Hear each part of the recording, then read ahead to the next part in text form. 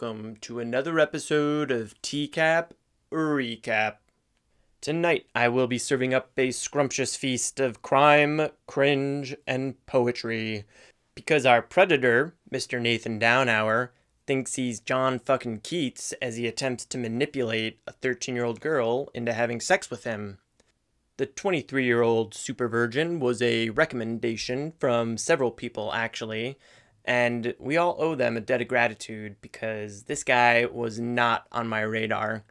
I knew of him, I knew that he was the potential serial killer Predo because of his very flat, monotone affect during his interview with Chris, and because of his complete lack of a response to having his life blown up on national television. I mean, I show more emotion when I walk into a room and forget what I came there for. This guy just says, thank you, turns around, walks to his destiny into the waiting arms of the police. So I knew who he was. I did not know that his chat log was so fucking hilarious.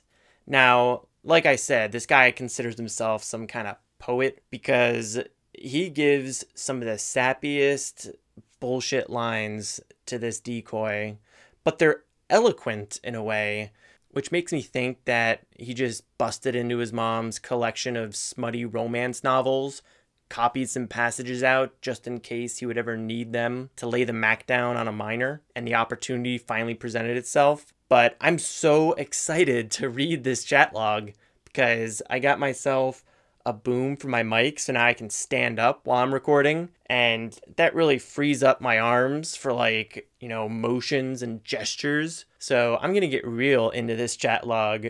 But to wrap up a few details, he got busted in the Greenville, Ohio sting. He was a student in Indiana, actually, at an evangelical college. So he had to cross state lines to get to the Sting house. And for some reason, he got off super light. He got 35 days in jail, which was just time served. He got two years probation. And he did get RSO status apparently for life because he's still on it down in Florida. But crossing state lines, normally the feds get involved and the sentences get harsher, which means he got really lucky or his parents just have money. He does have a case of helicopter parents, as we'll get into as the chat progresses, but his mommy is like the third character here. she even checks his phone bill each month to see who he's talking to. Maybe that was just a ploy to keep the decoy from calling his cell phone after he hit it and quit it, but I think he was being honest. I think his mother does still check his phone logs, even though he's 23 years old which really makes me want to know what the conversation was like when he had to call his parents to let him know that he was in jail for trying to have sex with a 13 year old. Given that his family is probably really religious as well and overprotective, and therefore way more inclined to believe him if he acts godly enough for them. You just know that when she talked to the police or was interviewed by the news, said something like, Oh my god, that Chris Hansen totally entrapped my child. My little Nathan was only going over there to mentor her and to protect her and keep her safe. They doctored that chat log. But I do wonder what his mom really thought when she read this chat log. If she did. I assume she would. I mean, I would want to in her position. But maybe she pulled a Raimundo Anguiano and just pushed it out of her mind, you know? And I don't want to like insult or go after his parents because they weren't directly involved, but the fact that she was that over controlling and that something of this magnitude could still happen, it's not a good look. I mean, he didn't turn into a drug addict or an alcoholic, so she did a good job there, but what was missing that he thought that this was okay? Who taught him that this was something acceptable for him to do? But all right, we got the essentials out of the way, so we're going to jump into the chat log here. I do want to take a brief moment to thank all my subscribers, people who like the videos, watch my videos. It's deeply appreciated. I actually, when I started, only bought a microphone because I wasn't sure if this would like pan out into something that I would continue doing. But with all the positive feedback I've gotten, That's why I went out and got myself a boom for my microphone. You know, I'm trying to upgrade so I can keep the content coming out and keep improving it every single time. So, thank you. Now let's go splash around in the sewage of Nathan Downhour's psyche, shall we? First off, tell me this guy does not look like Dexter. A little bit, right? I think they bear a resemblance, although Dexter is a lot more handsome. I'll give him that. But secondly, can somebody tell me what this shirt is made of? Because it kind of looks like uh, he draped himself in velvet. George Costanza would be very jealous. Third, this dog is beautiful. I always liked huskies, and this is just a very pretty dog, and he's manhandling it. Oh man, that poor dog. He does express that he really likes animals, and that's why he was studying biology, so he could be like a vet or some shit. And that trends with sociopathic tendencies being able to connect deeply with animals, but not being able to connect with humanity, humans. If you've ever seen The Sopranos, you'll know that Tony loves his ducks, his horse, even the little goat that plays with the horse. He likes animals a lot, but he doesn't shy away from throwing a beat down on somebody or shooting them. Not to spoil anything. Actually, if you haven't seen The Sopranos, you need to stop listening to this video. You need to go watch it right now because best TV show ever made.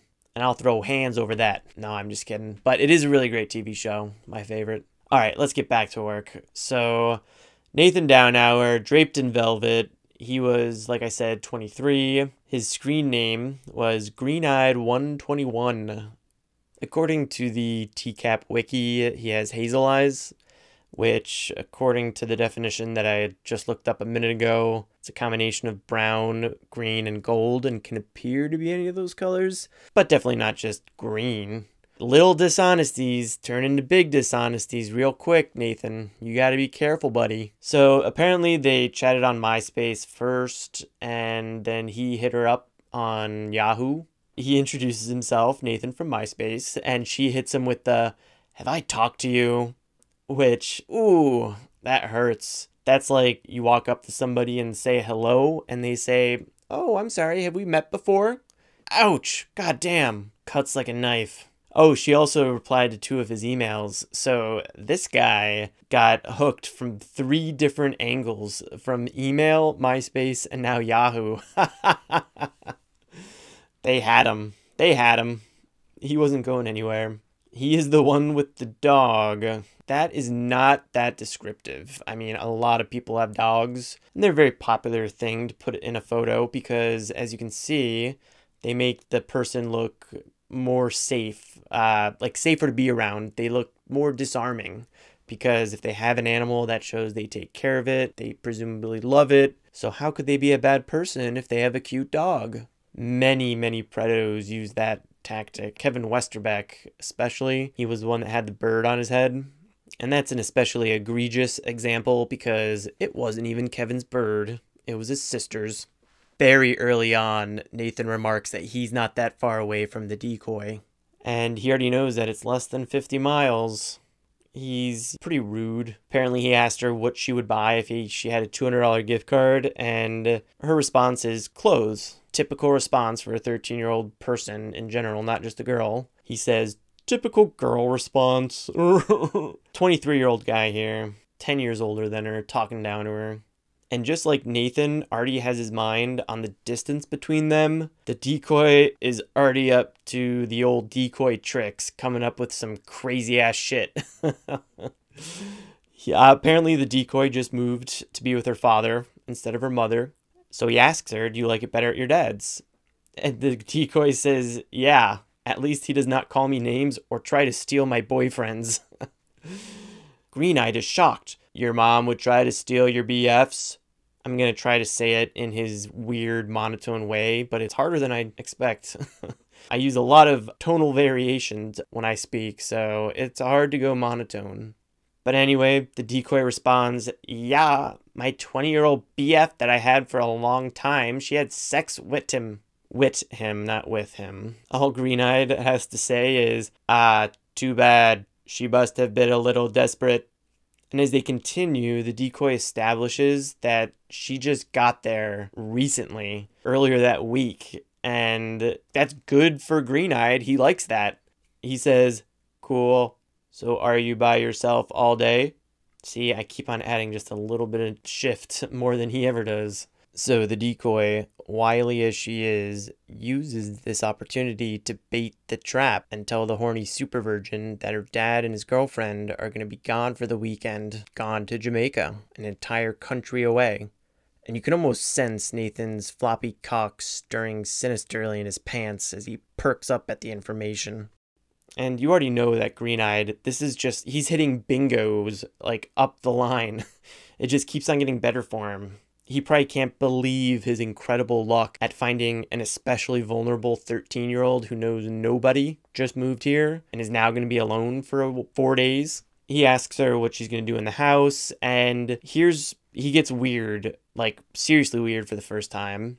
He says, Well, you can do whatever you, as long as you don't ruin the carpet or burn the house down, you could stay up late sleep in your dad's bed, try on his girlfriend's clothes, underwear included, or run around the house nude. That's what I did when I was alone in the house for the first time. So I wonder what he means. Did he run around nude? Or did he try on his dad's partner's underwear? I mean, his mom's underwear. What the fuck? But it does show where his mind is at. He's thinking of this decoy nude, doing weird sex things like trying on another female's underwear. I don't want to say another woman because the decoy is not a woman, she's 13. And just in case you don't believe me, or the decoy is doubting it, that he's a weirdo, he says, send pics if you do. So, bam, they got him child porn.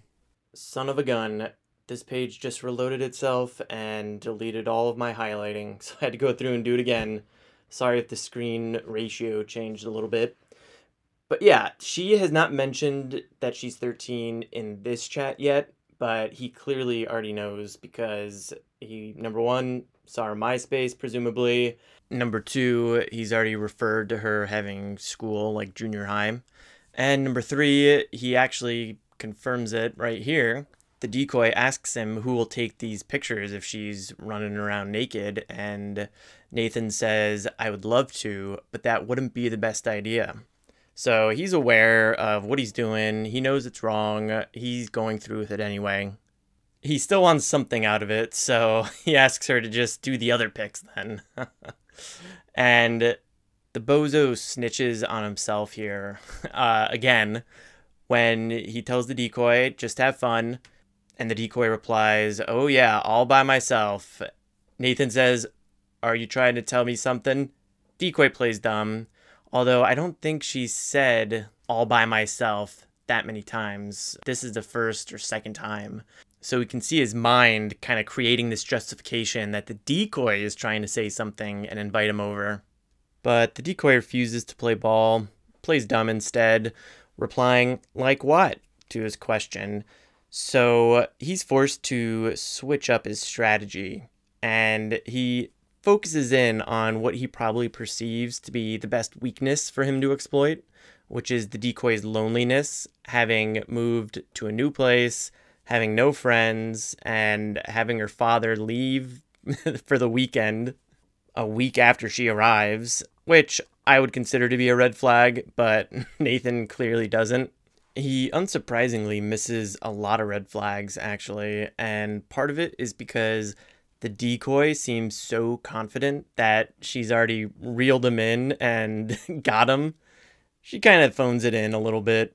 We'll keep covering the red flags as they come up. Another thing to notice is that Nathan appears to have read some sort of handbook on how to pick up women. It's like he's trying out all the tactics of one of those pickup artist YouTube instruction channels that were popular a while ago you know, he keeps on asking her questions about herself. He keeps making himself sound interesting. And even though the decoy does not give him much to work with, he takes her short answers in stride and moves on to the next attempt to pick her up. So it's very funny to me to consider that he's trying to manipulate this 13 year old girl with pickup artist lines. And in reality, it's actually the decoy who is trying to manipulate him into showing up at the Sting house, half assing it because he clearly really wants to come over and do this. It makes his creepy unreaction to Chris Hansen showing up even more spooky because he's getting really involved in this girl, putting in a lot of effort, and in a moment, all that just goes up in smoke. It's even more important for him because he's the 23 year old super virgin.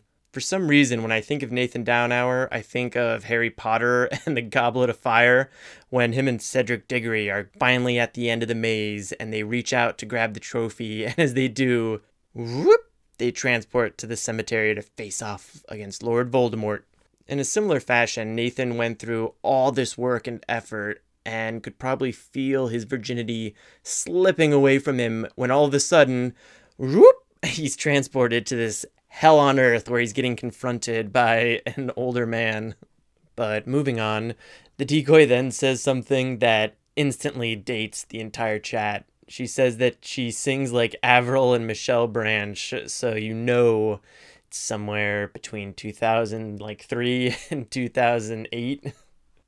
And of course, being a millennial, I jammed out to pop punk just like everybody else. And in fact, I loved Avril Lavigne's song Girlfriend. That thing was my jam for a little bit in high school.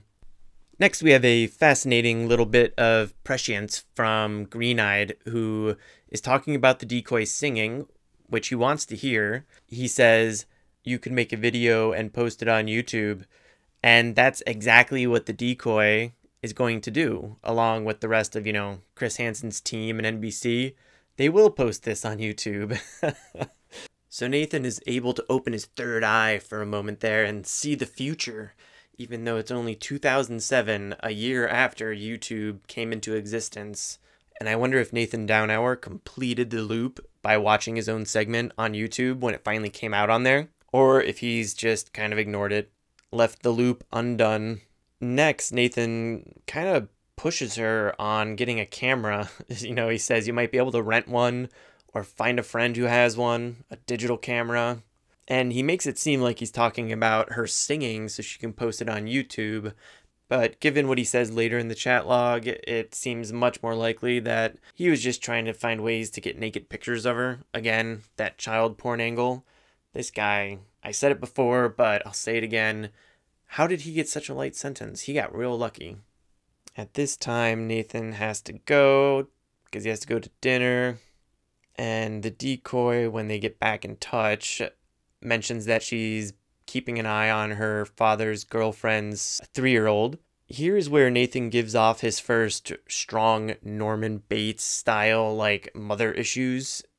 He first says, I wish I had a baby sister, which is a common thing for people. You know, you wish you had a sibling or a brother or sister, whatever. But again, in the context of the larger chat, it just makes me think that he wanted a readily available dating pool as terrible as that sounds. But his next line is the creepy one. He says, Mom stopped after two boys. And he doesn't say, My mom stopped after two boys. He just says, Mom stopped after two boys. Now, maybe this is a regional thing and I'm way off base here, but I would only ever talk this way to my siblings because we all share a mother. But if I was talking to anybody else, even close relatives, I would specify my mom did XYZ. It just feels like he's pushing an unwanted intimacy on the decoy by talking to her as if they would share a mother, which could only be the case if he married her, then his mom would be her stepmother. I guess if we're getting technical, they can also share a mother if their siblings got married, but in this specific context, it would be if they married each other. Creepy, but if it's a cultural thing or a regional thing, I will take the L and uh, please enlighten me. Otherwise, let's move on because uh, Green Eyed is about to make his first major slip up and get schooled by the decoy. After talking about the decoy's stepsister that she's watching, Green Eyed loads up another superficial question and hits the decoy with, Did you ever have a pet? which of course she says yes to. She had a cat back in Texas. He uses this opportunity to tell this, you know, little anecdote about one cat that he had that caught a ton of mice, rats, squirrels, and rabbits. And the decoy plays along by saying that her cat brought her a dead squirrel once. But it seems like Green Eyed wants to talk about vicious killing of animals a little bit longer, so he brings up how weasels are nasty little critters and are capable of killing a cat. And she spells weasels, W E E Z L E S, which is just a, a moment of levity as they talk about how vicious weasels are. I couldn't find any evidence of blood frenzies where they only suck out the blood, but it turns out that they are pretty nasty little critters. So he does know a lot about, you know, random animals that you would see around your home. And he brags about it, saying, I do know a lot about animals. Anything you want to know in particular? It's just a weirdly broad question. The decoy, once again, is not going to play the game and just says, I love animals. So he's able to jump into another angle of questioning, you know, what's your favorite, blah, blah, blah. Here's where Nathan gets busted red handed stealing somebody else's favorite animal. He says, cat wise, I like the liger. It's a cross of a lion and tiger. Pretty impressive. The decoy says, LOL, I know Napoleon. Question mark from Green Eyed. Decoy says, That is Napoleon Dynamite's favorite animal. The liger. And caught with his dick out and no cover, he says, I think I should watch that movie. I do not believe for one second that Nathan hasn't seen Napoleon Dynamite. That was a big movie. Everybody knew Napoleon Dynamite. And everybody knew the Liger because Napoleon made it famous. You never heard the Liger before Napoleon Dynamite. Even Mr. Super Biologist here did not know about the Liger before Napoleon Dynamite. Nope, he gets busted cold. So take the L, man. Just take the L he doesn't wait around afterwards. He moves right on to talking about his favorite horse being the Clydesdale. You see him in all the beer commercials. He's trying to impress her again. But the decoy busts out some names that I don't know. She says, I like the Andalusian. And Green Eyed says, they are very beautiful horses. So I assume she was right. He continues to brag, saying that he's taking horseback lessons. And the decoy says, I miss my horses. So apparently she had horses back in Texas with her mom. Seems like both of her parents are pretty damn rich. Something that Nathan is about to realize. They talk about logistics of him getting to her, and he says that he lives around Hartford City in Indiana. And according to MySpace, they're about 50 miles apart. And he asks her, Do you live in the suburb or in the country? And the decoy says, I guess the country. Nathan replies, No nearby houses. I live in the country and all our neighbors are about 600 feet away. Which, again, in isolation, this could be argued to be a pretty innocuous line. But when you think about the larger context of him coming over there to rape her while she's alone, it takes on a much more sinister meaning. You know, he's making sure that there's nobody around that can hear her scream. You know, this guy, he comes from a religious family, evangelical family, but he's already showing us that he doesn't follow any of their morality because he's doing this.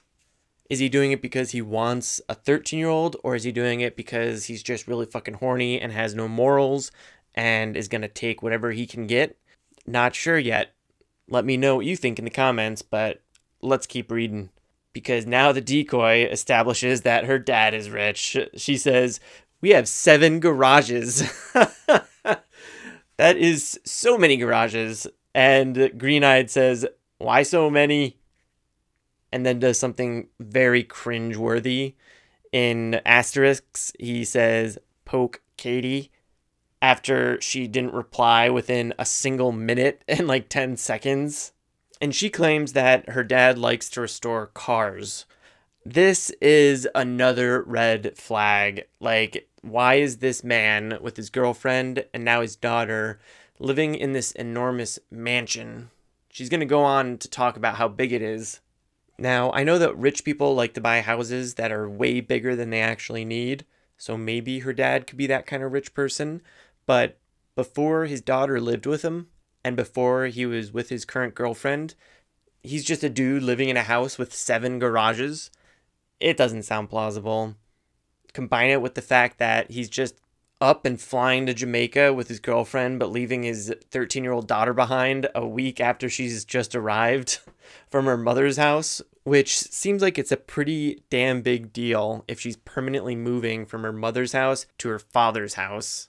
But nope, he needs to go to Jamaica. He wants to go smash his girlfriend on the sandy beaches. Peace. There's mac and cheese in the cabinet and food in the pantry, and make sure you keep all seven garages closed. No, Nathan Downhour had dick brain since before this chat even started. The decoy, knowing this, actually pushes to talk to him on the phone. Normally, it's the Predo who wants to call the decoy to make sure they're legit. But nope, this decoy's trying to speed things along, so she just says, Want to talk on the phone? And there's Nathan's phone number. Not edited out, so I don't know where that phone number goes now. But he tells her his full name, she says that she's Kat, and they make the phone call and come back. And from here on out, Green Eyed is going to start calling her a variety of creepy pet names. One that he prefers is calling her Soft Voice, which he uses over and over. But the decoy, probably busy dealing with a bunch of other possible predos, says that her dad just pulled up and just to keep the hooks in him, sends hugs which he really likes. Now, I would be interested to know what happened on March 18. It seems like the decoy squad is possibly in disarray because the next day at 1 a.m. in the morning, the decoy reaches out and says, Oh, I'm sorry, I keep waking up. Wish I had someone to talk to. Green Eyed doesn't respond because he's sleeping until 6 in the morning and says, I'm awake now, soft voice. Sorry I wasn't there to talk to you and then he's going to message her again at 9, 9.50, 9.53. Then Katie's going to message him at 1.30 and 5.30, but he can't answer because he's watching a movie with his brother. So he gets back on and messages her at 6.30, 8, and 8.30. At 8.30, he says, maybe you should leave the messenger on all the time, then it would be easier to contact you. He's now telling her how to run her messenger so she can talk to him he gives it as like a nice suggestion to help her out, but it's with the ultimate goal of getting her to talk to him more, which is bad. So it's a little bit controlling. Like, imagine telling somebody, hey, maybe you should keep your phone on you all the time. Then it would be easier for me to contact you. It would come across as very weird and controlling, right? But then he repeats this controlling advice only two lines later, the next morning, he messages her at 6:27 a.m. and at 6:29 says, "Please leave your messenger running so I can contact more easily. I miss you." So, even though it hasn't been a particularly romantic or flirty chat so far, Katie's basically treating him like you would a friend. He's the 23 year old super virgin, and he's a bit of a nice guy, quote unquote, so he interprets friendship as romantic and sexual interest. So, of course, he misses her. This is probably the nicest girl he's ever spoken to. This next part is very important. The decoy says, So it doesn't bother you, I am 13. And Nathan says, No, it's cool. Katie says, Cool, most people are mean. And Green Eyed should really see this inconsistency. But he says, what do you mean? Why are they mean to you? Katie says, Because I am 13. And Nathan just posts a bunch of question marks and says, That doesn't make sense. And he's absolutely right. It doesn't make sense. I think the decoy said it because this is a stressful part of the conversation. She needs Nathan to continue going along with her, even though she's bringing up once again that she's 13. She's basically reminding him that this is an illegal act, this is a crime, but she wants it to seem more casual, so she makes it seem like she's asking him about her own age because other people have been mean to her because she's 13, not because it's illegal to do what he's doing with her. But unfortunately for Nathan, he is just blown away by the prettiest voice he ever heard and he's unable to see what's going on. They continue talking. He says he's getting a degree in biology so he can go work at Busch Gardens, the zoo. And while Nathan's going off about different flowers, the decoy just rudely brings up, How far are you from me again? And Green Eyed is right back into the logistics, says she's about 45 minutes away. Decoy says, That's not far, and asks him, You gonna come visit when my dad leaves? Nathan says, Sure, I was gonna ask you later though. I was going to ask on Wednesday. It might be the only chance I ever get to see you. The decoy asks, Why the only chance? And Nathan says, Because your dad and girlfriend won't be there. So he knows that this is, might be the only chance he ever gets to see this 13 year old girl, but he's going to continue to try to get close to her, lead her along so he can eventually have sex with her and then never see her again because she's a whole state away. Now that the trap has basically been sprung and Nathan shows no fear, no suspicion, I don't even think he considers that this could be a sting. A lot of predators that we watch, they kind of yo yo back and forth from being horny and all for it, then backing off and saying, wait, this might be a trap.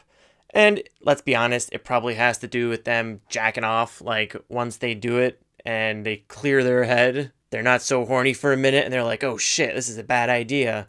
But then the next day they forget about that and get horny again and eventually show up to get arrested. So Nathan does a lot of superficial talking about, you know, either himself or the decoy, and we don't need to get too far into it. It is funny, he recommends the movie Liar Liar with Jim Carrey, which good movie, but he mentions messing around as well. He wants to listen to her voice. He wants to bring movies for her, but per decoy policy, the decoy just keeps putting it back on him, so he gets to pick whatever movie he wants. The decoy hadn't made any outrageous claims lately, so they say that they were in modeling, and Nathan wants to know what kind of modeling, like clothes modeling, sports, and the decoy says, just did modeling for pics. And Nathan's like, well, they normally have a purpose. And the decoy doesn't elaborate. So another red flag. Although I'm I guess a 13-year-old could just make stuff up or not remember. But it's followed by a real red flag. Nathan asks for the address, but the decoy says, I'll give it to you when my dad leaves. Obviously, they don't want him to have the address and show up earlier than expected, scoping the place out or something. No alarm bells in Nathan's head. He just accepts this and keeps going. They start talking about what the decoy wants to be when she grows up. Uh, first, she says a vet because he says a zookeeper, and then she says a singer. They talk about calling each other. Nathan says, So I must bid thee adieu, which is very much like fedora neckbeard language. and here it is Nathan admits that he wants sex.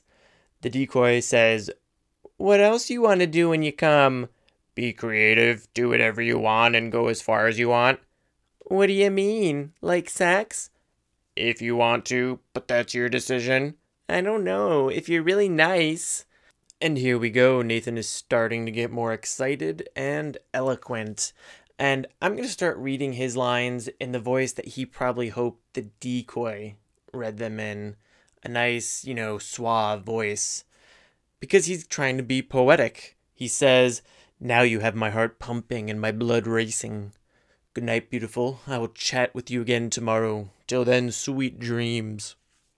And then he does a quick yo yo back up and says, I just remembered, please don't tell anyone that we might have sex, or if we do have sex, we would both be in a lot of trouble.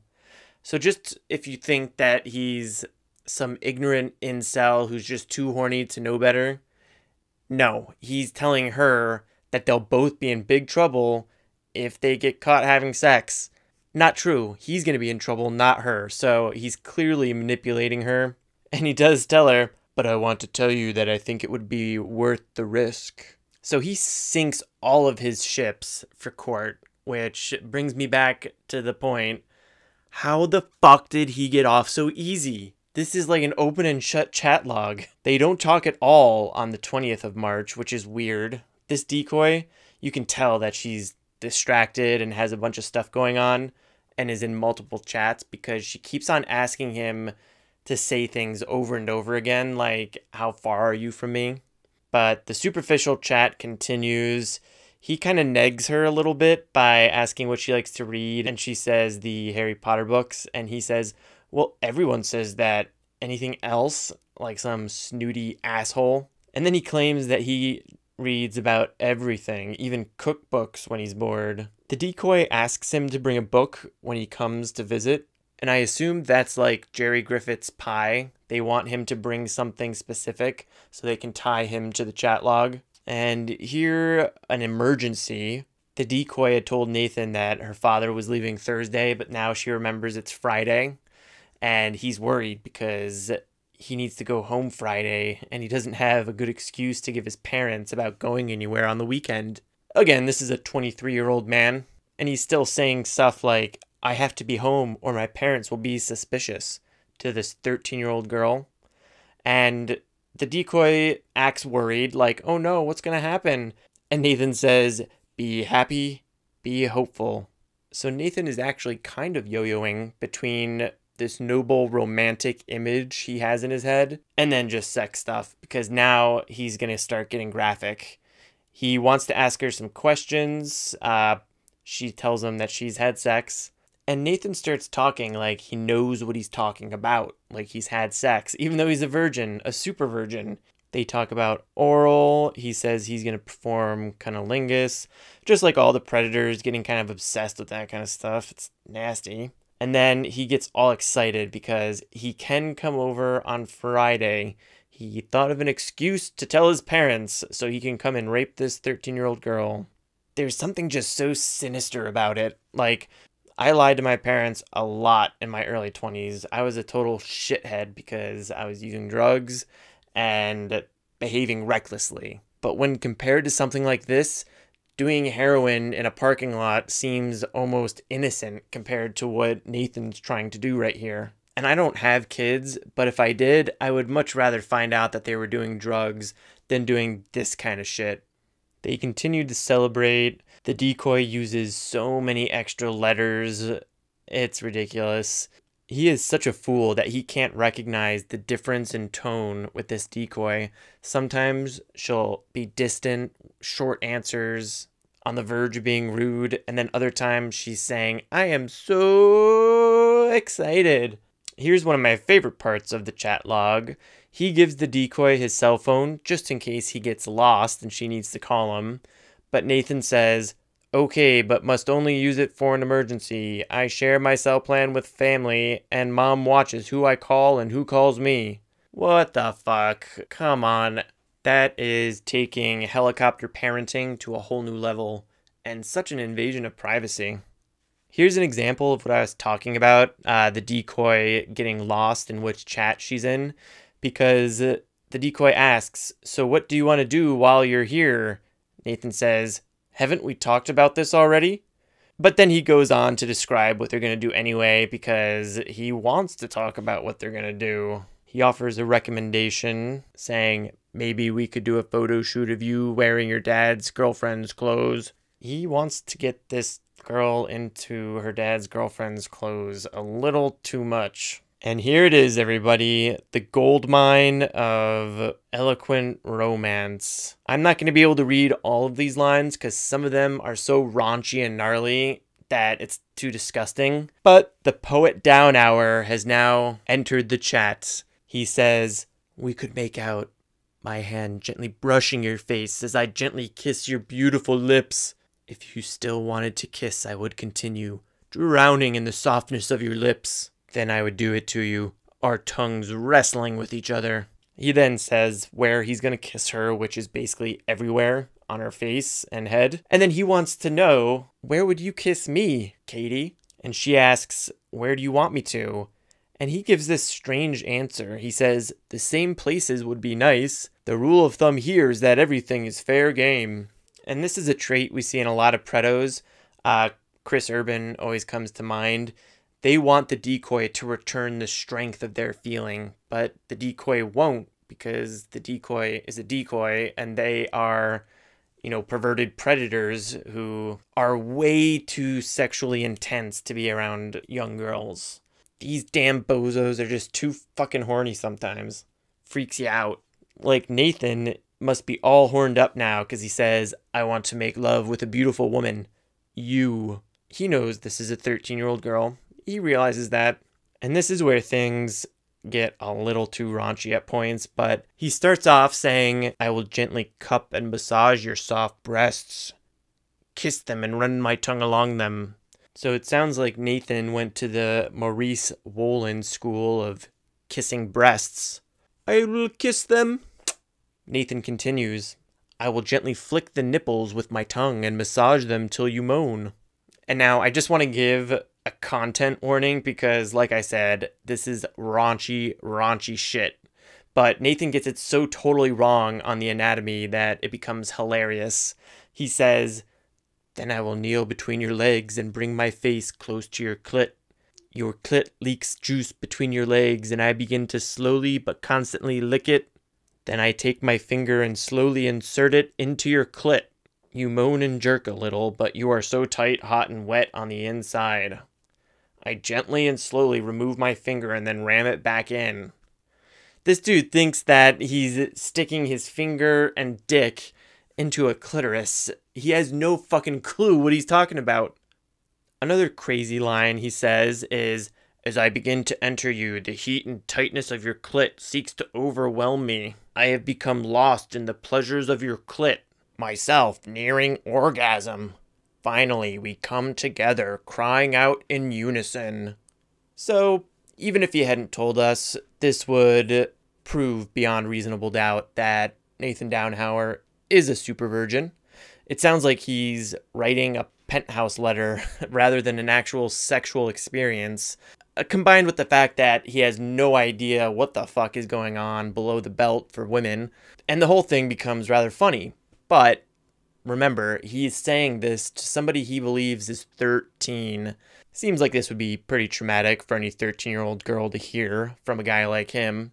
Just like so many other predos, you know, Jerry Griffith, Chris Urban, they build up the decoy, this idea of the decoy in their head, and then that's who they start having a conversation with. Nathan Downhour isn't responding to what the decoy is actually saying he's responding to this scenario that he's baked up in his head.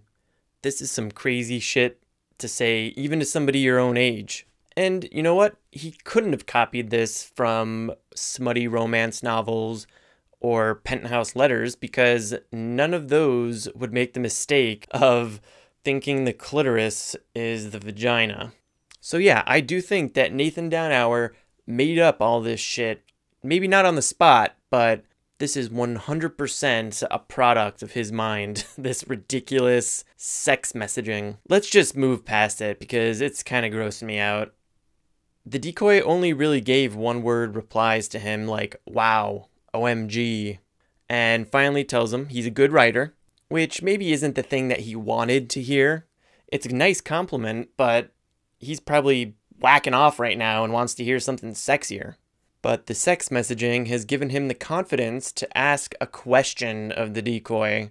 He says, I did it with another girl, but I don't know if you want to. Call me up and let me listen to you as you finger yourself to orgasm.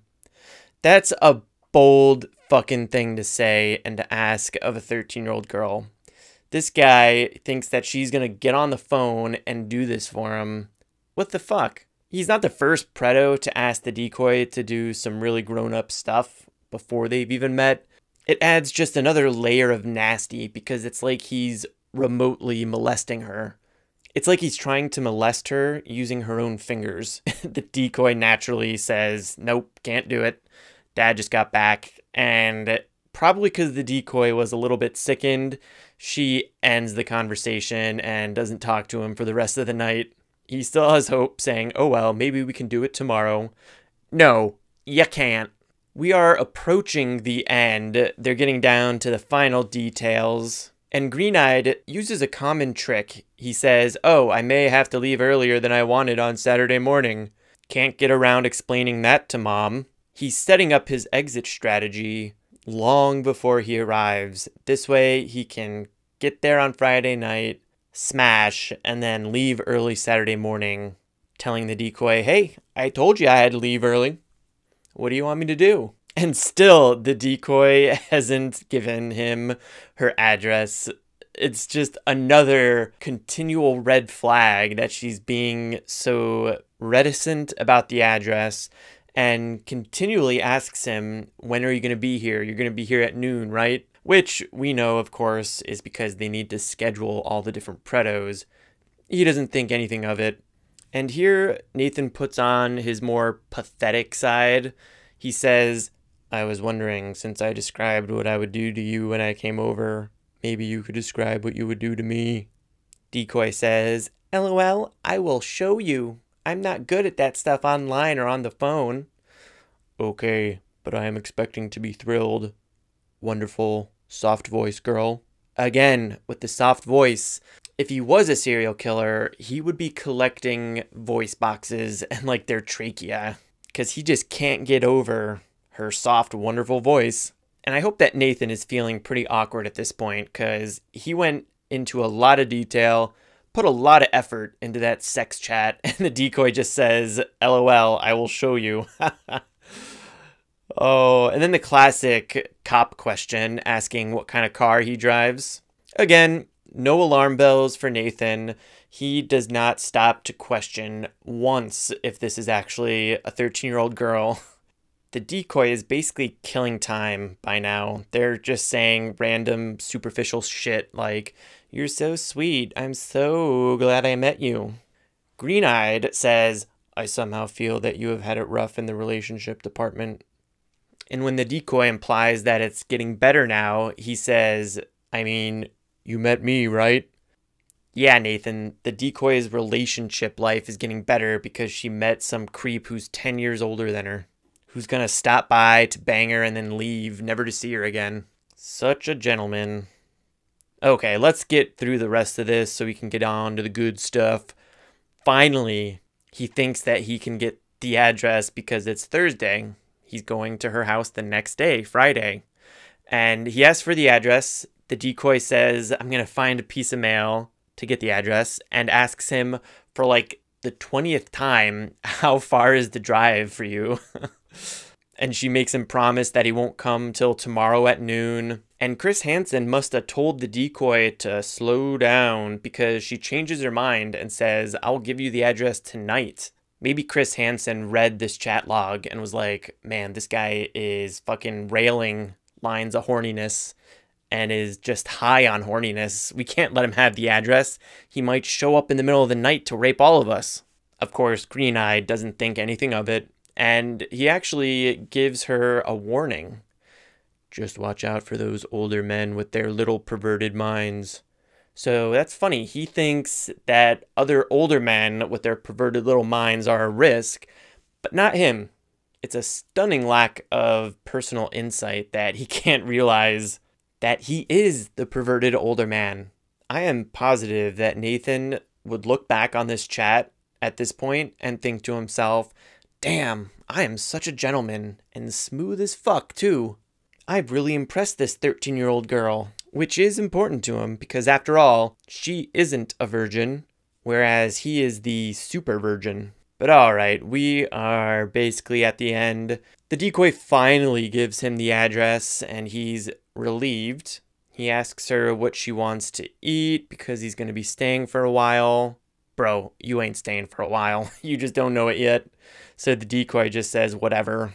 And he reaffirms that he is bringing the book for her. And right here, he shows a little bit of awareness that this is not a safe situation for him to get in because he asks if there's any houses around her house and says, Well, I don't want them to get suspicious if they see an older guy like me come to see you. But the house is in the country, so there's nobody around. Apparently, the house has seven beds and four bathrooms, which again, what the fuck is she doing there? I mean, she says that her dad is in real estate, so maybe he's house hopping, you know, just living in whatever nicest house he's selling. But that doesn't make much sense to me. I don't know much about real estate though. Is that something that realtors do? Just randomly move into big houses that they haven't sold yet? I doubt it. But correct me if I'm wrong, please. And just some for the road, he wants to ask a couple sex related questions, asking how many times she's had sex and does she like a certain position. Humorously, the decoy says she's only done it six times just from behind. I always considered doing it from behind to be like a more advanced level of sex. The natural thing is just like missionary. So strikes me as suspicious that she would say only from behind. However, we are dealing with Nathan, so he doesn't think anything of it. He gives one final nice guy line, so I must bid thee adieu. And then as a final power move, he says in asterisks, hugs and a long French kiss goodnight. The decoy basically ignores that and just reminds him to come through the back door instead of the front door. And that frustrates Nathan. He says, Okay, did you read the last thing I wrote to you? I would have thought it would have gotten a response. And the decoy is just like, Yeah, I will give you one when you come. So that's the end of the chat. Speaking as somebody who has texted a lot in my life, the decoy's responses throughout the chat just seem to ooze this sense of going through the motions, like she's just saying the right things to say them without really caring. But of course, I'm not all horned up like Nathan Downhour was. He is unable to see anything outside of his penis vision. And so he says goodnight to her, goes to sleep so he can be well rested for his big sex romp the next day, and ends the chat that is it. That was a long one. So if you're still with me, much appreciated. I've been trying to keep my videos a little bit longer because I'm getting a lot of feedback that people enjoy them when they're longer. So let me know if this is too long. I know the chat isn't as exciting and dynamic as this segment, but hopefully you enjoyed this. So let's move on to the segment and interrogation. All right, everybody, welcome back. First off, I want to thank Dr. Julian Bashir for posting this video. I'll drop a link in the description. But otherwise, we're just going to jump right in because that chat log was way too fucking long. So let's go. So uh, day one came and seemed fine.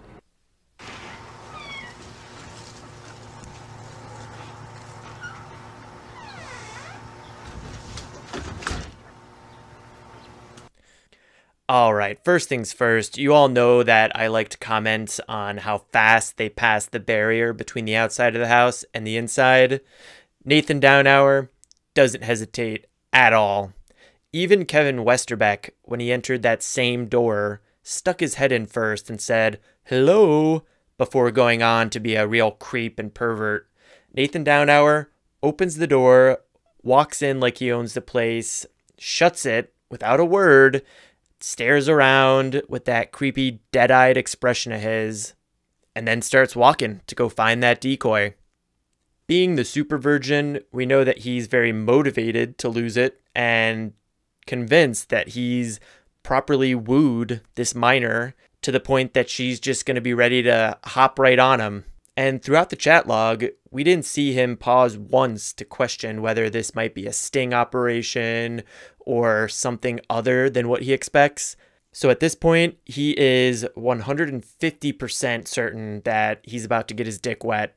Instead, he gets smacked with the Hansen, and you would think that his lack of preparation, his inability to suspect that this might be a sting, would make him more shocked and surprised than the average Predo.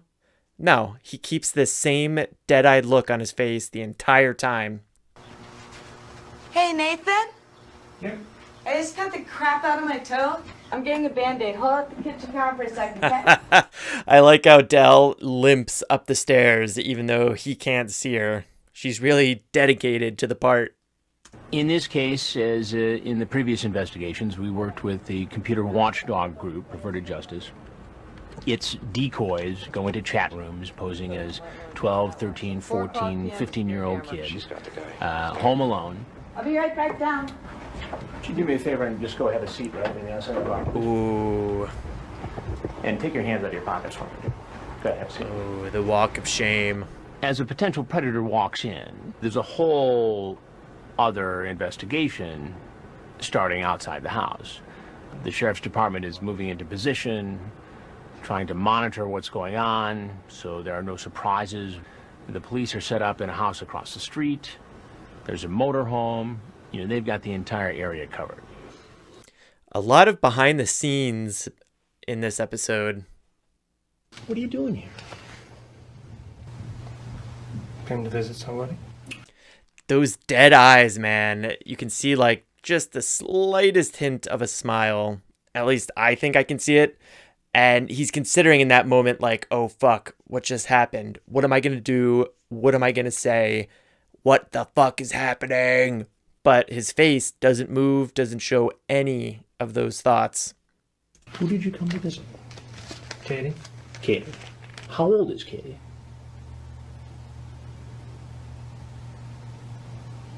thirteen. 13. And how old are you? 23. 23. Do you see a problem with that? Of course, whatever facial expressions Nathan lacks, Chris Hansen more than makes up for with his wide range of facial contortions.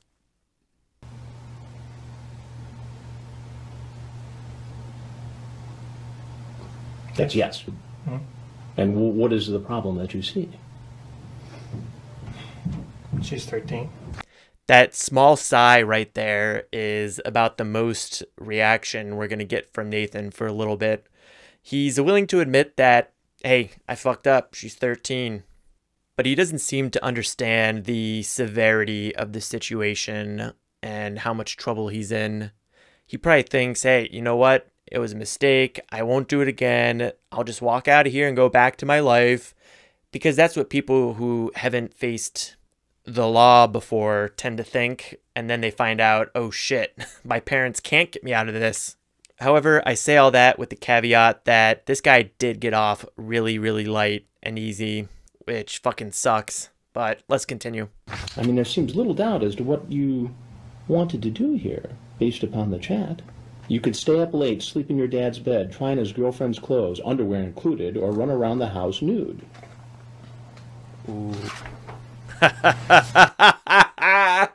In this moment, Nathan is realizing all of the stuff that he said, including all of that extremely explicit sex talk, was being read by this guy and who knows how many other people. Maybe he thinks that Chris Hansen was the one on the other side of the computer talking to him, and he's thinking, oh shit, I said all that stuff about the clitoris to this guy. But again, this uh, raising the arm up to put it against his face, that's how he shows reaction. Instant messaging allows for a way to talk differently. Talk differently. You're not actually facing the person, so you don't have to deal with the embarrassment of saying those sort of things to their face. He is correct, and that's the big problem with online bullying and why bullying can get so much worse when it's online because it's easy to tell some screen name to fuck off, but you, it's not as easy to say that to somebody's face because you have to deal with the instant ramifications right then and there. You tell somebody to fuck off in real life, they might just slap you across the face, but you can just heap abuse on somebody online and never have to deal with it in some cases if you're talking to somebody you don't know or don't see in everyday life. Like, have you ever had an online conversation that wasn't appropriate, whether it's, you know, sexual or vulgarity, whatever, and then had to see somebody the next day and kind of pretend like it didn't happen or it wasn't, you know, you didn't tell them to go fuck their mother? I've been in those situations before. It's it's uncomfortable, but you just got to power through. Let's go. So it doesn't bother you I am 13. No, it's cool. You get into very graphic detail mm-hmm. about what you want to do to her. He wants to stick his finger into her clitoris and then jam it back in there. Fantasies dreamed up online are in your mind. Fantasies dreamed up online are in your mind. It's like he's trying to be super cool, like that really deep guy at the party who's just speaking in riddles and is so dark and mysterious. But he's not at a party, he's across the table from Chris Hansen. Come on, man, get it together, Nate. Things you might not be able to willingly do when it comes down to it. Nathan Downhour starts out saying, I am pretty sure that he would have been 120% willing to do all of that stuff that he said. Granted, he wouldn't be able to insert his finger into a clitoris, but that doesn't mean that he wouldn't have tried his best to do it. Saying, look, this is just all fantasy, and I wasn't really going to act on it.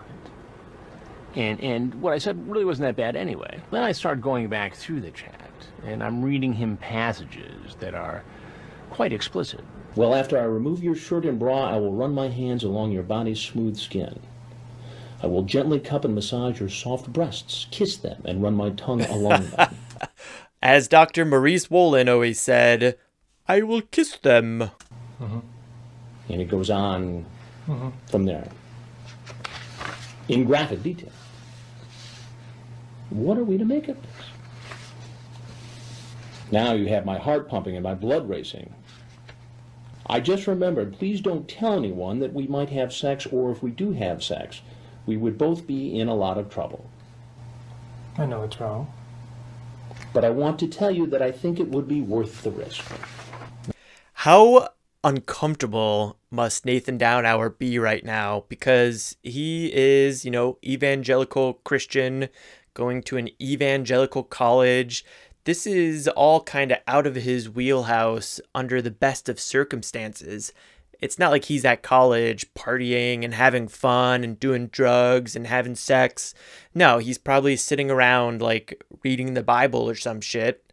And now he's sitting in a very mundane, rather ugly living room being grilled by a older man he does not know. I guess it's possible that his non-reaction is simply because he's so shocked that he doesn't know what else to do.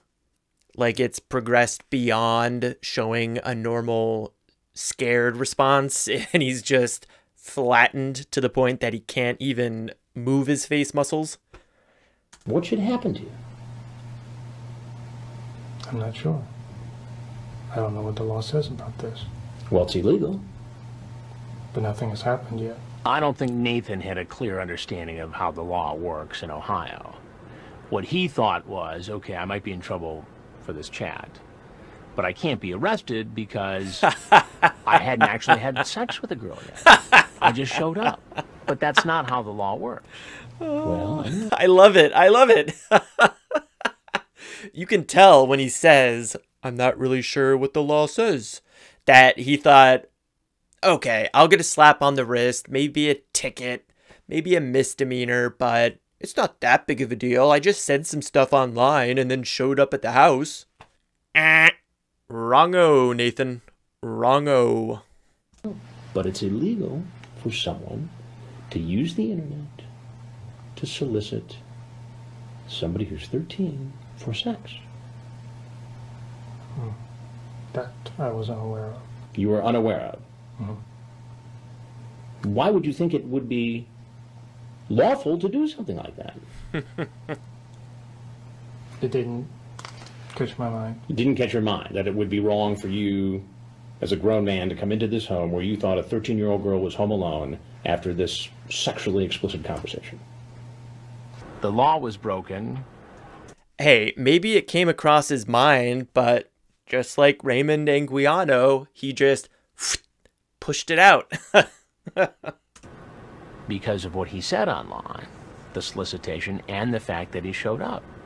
It didn't matter that there really wasn't a young teenage girl in the house waiting for him to have sex. He, according to the authorities, was uh, was uh, breaking the law.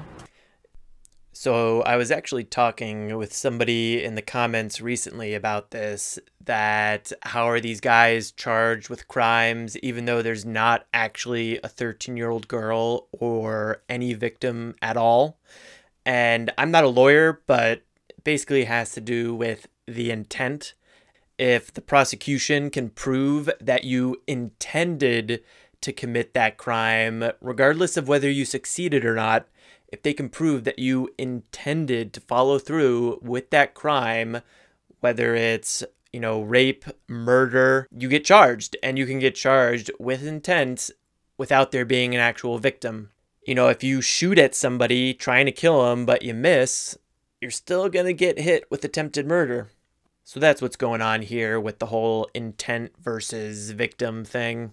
If you know more about it or know more details on the legal side, please let me know in the comments because I would be interested in finding out more about this.